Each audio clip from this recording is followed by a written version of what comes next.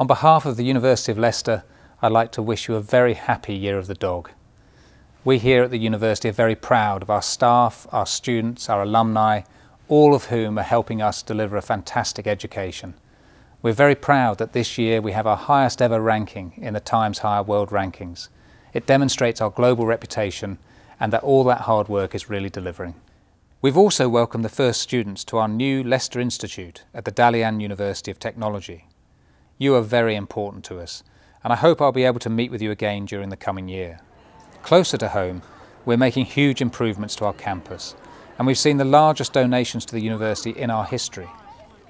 Our work on gravitational waves from neutron stars colliding received global coverage, and one of our academics took a giant leap towards becoming an astronaut as she won a BBC TV show. And towards the end of the coming year, I hope you'll join us as we celebrate the start of the celebrations of the 100th anniversary of the university's founding. It's going to be an exciting year for all of us. I wish you and your family good fortune during the coming year. Sin Chuan Kwai Le.